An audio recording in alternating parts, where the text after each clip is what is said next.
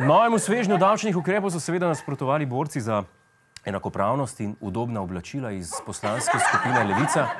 Ti nameravajo po koncu krompirjevih počitnic, ko se vrnejo z izleta v Kumrovec, celo prekiniti svoje sodelovanje s koalicijo, če ta ne ukine dopolnilnega zdravstvenega zavarovanja.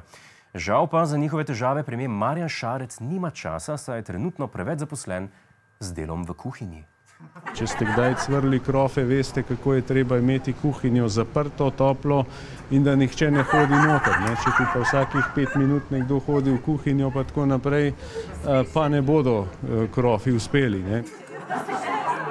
A vidite, kako dobro orga- organiziranega premijeja imamo? Pust je še mesece v stran, on pa že misli na krofe.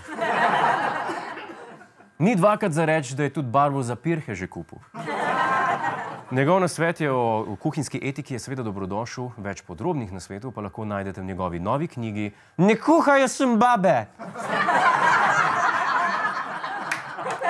O primerjavi. O primerjavi sodelovanja z levico s peko krofov so se nekateri seveda zgražali, nam pa je predvsem zanimivo, da slaščičarsko referenco uporabi nekdo, ki že leta trdi, da ni šiptar. Premijer, premijer Šarčiri nam je zaupal tudi, kakšne se mu zdijo kuharske sposobnosti njegovih poslanskih kolegov iz levice. Člane levice in poslance izredno cenim, so, eh, bom rekel, zelo eh, načitani, so zelo izobraženi, zelo vedo, ampak še enkrat bom ponovil, da prakse z vodenjem nekih sistemov pa manjka. Ne? Glavni problem levice je, da so mladi in zapusta krofe še zmeraj dobijo za ston. Šarc bi se pa rad odda, obdal z izkušenimi kuharji, ki so v življenju že sami odsvrli kakšen krof in jih kak ducat celo pojedli. Ne?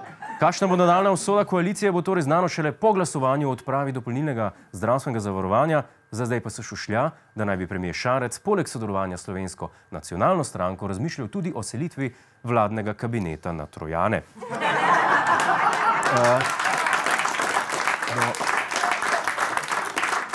Do hudega pretepa je pred dnevi prišlo v postonski jami in to ne zaradi velikih stopnin, pač pa zaradi mladostniške razposajenosti. Poglejmo si posnetek pretepa, ki so ga zabeležile varnostne kamere. Občutljivim gledalcem ogled osvetujemo. Potem, ko so mladički v laboratoriju postojnske jame začeli meriti moči, je zmajček Viktor utrpel hude poškodbe. Da sta se dva te velika spravila na ta malega in sta ga pretepla.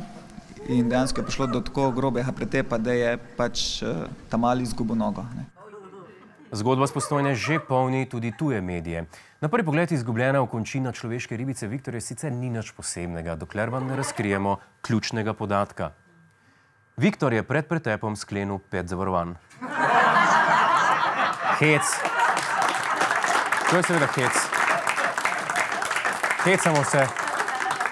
Mali Proteus seveda ni hotel izvesti zavarovalniške prevare, je pa njegova noga tako rekoč prevarala naravo, saj je sama od sebe zrasla nazaj. Da se kaj takšnega lahko zgodi, ni odlična novica samo za pretepaške Proteuse, ampak tudi za mizarje. Viktor je sicer izlegla 21 človeških ribic, zato bi bilo zanimivo izvedeti, kakšne supermoči imajo šele njegovi bratje in sestre. Vseh 21 mladičkov je še zelo veselo zdravih, poskočnih skačejo okoli, iščejo hrano. Po prispedno večino časa, ko ni hrane, pa mirujejo in poležavajo. Mlade človeške ribice samo jedo in spijo. Kaj točno delajo najstniške človeške ribice, žal ni znano. Vemo samo, da jih ta stari sploh ne štekajo in da se z njihove sobe vali dim zanimivim vonjem. Hej, to je naš YouTube kanal, klikni na ta gumb in se naroči, da boš na tekočem. Polagaj pa nas tudi na Facebooku in na Twitterju, pa na ulici, pa na kakšnem javnem veceju.